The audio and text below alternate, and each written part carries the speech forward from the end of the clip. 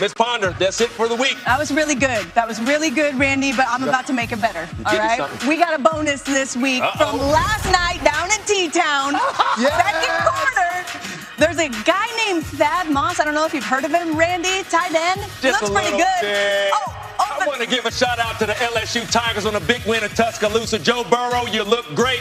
Hey, son, I don't know all the rules in college football. You had your daddy wondering right here, is he in or out? I'm going to tell you what, Alabama, everybody in the stadium got Moss. Daddy, way to go, baby.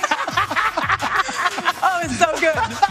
We, we Yes, might have questioned it if it wasn't your son, but it was your son, so of course it was a catch. That's a Moss. Yes, it it's a was catch. a catch. Go the best thing about that is the guy he got it over, Trevon Diggs, the brother of, of Stefon Diggs. So a lot of NFL connections in that Mossing. Diggs and Moss. Diggs and Moss. Diggs and Moss. Way to go, son.